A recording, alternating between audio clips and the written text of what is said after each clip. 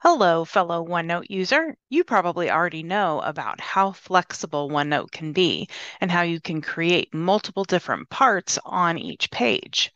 However, some people would like a little bit more structured look and feel to their OneNote. If that's you, you might want to consider OneNote page templates. I'll show you how to create, change, and remove OneNote page templates today on Tuesday Tech Training.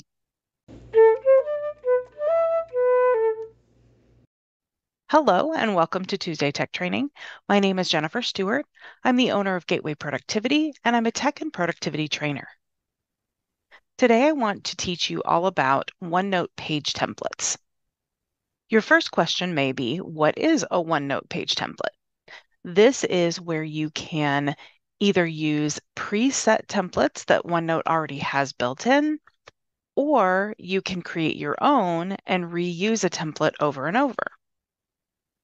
Some examples of OneNote page templates would be planner pages, structured project plans, meeting notes, and procedure manuals, which is what I'll use as our example today.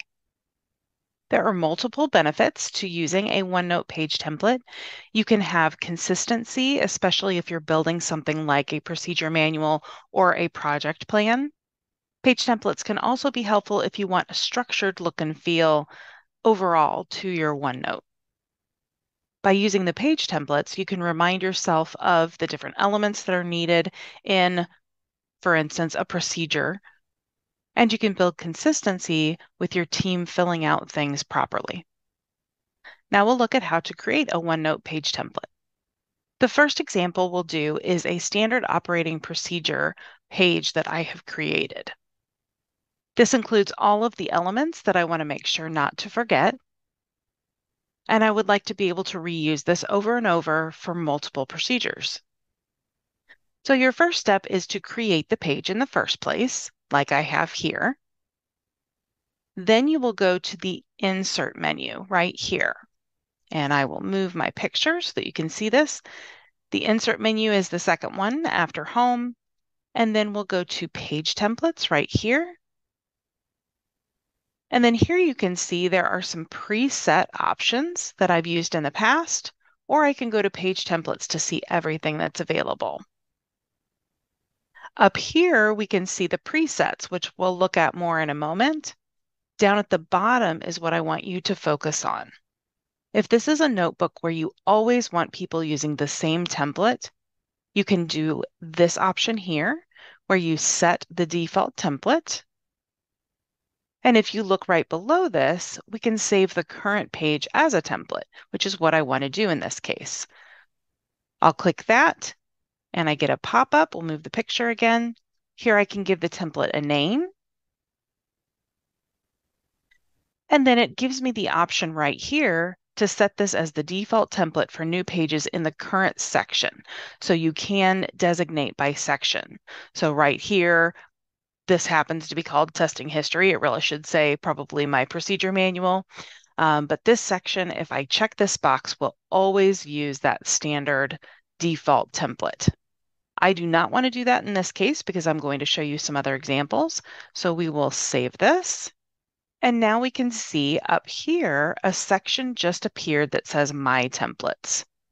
If I open that up, there is my standard operating procedure. If at this point I am ready to create another page with this exact same template, I can just click on this link and you can see a second page appeared right here and they look exactly the same because they're both the templates. But once I have created this new page, I will want to give this the name of the standard operating procedure. So maybe this is my marketing and it's my blog. Are you learning something new from this video and you'd like to see more? If so, click the subscribe button below the video. Once you do that, you'll see a bell icon. If you click on the bell icon, you'll receive notifications each time a new video is posted.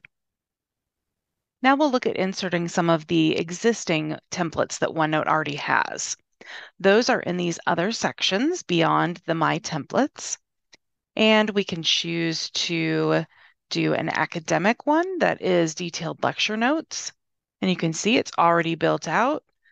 and it gives you an idea of if you're listening to a lecture, different things that you can keep track of. In the decorative area, there are lots of different backgrounds that can be fun to have on your OneNote pages, such as light bulbs in the corner, bamboo, blue flow, it's along the side there, kind of like a border. There's lots of different options built in here for you.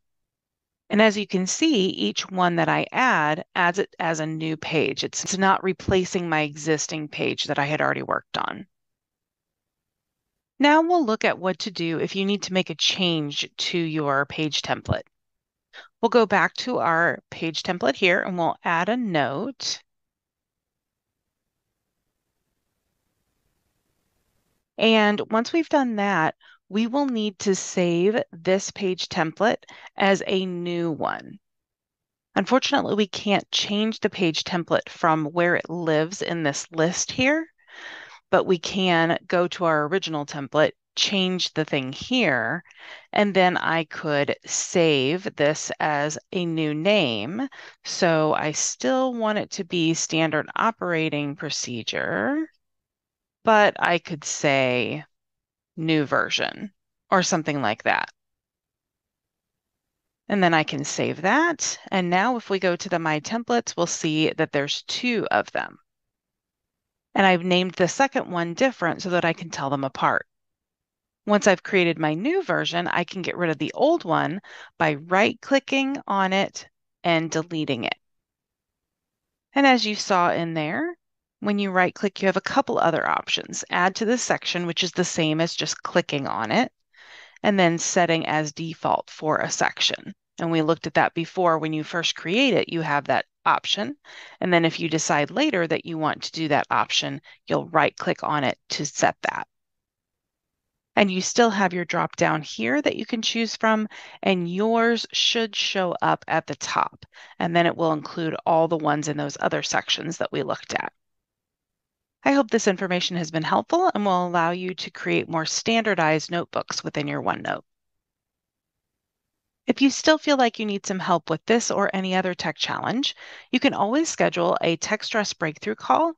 You can do that either by clicking the heart in the monitor that's above me, or you can go to my website, which is gatewayproductivity.com, click on the Let's Talk button, and you can schedule your call. Thanks for joining me, and I'll see you next time.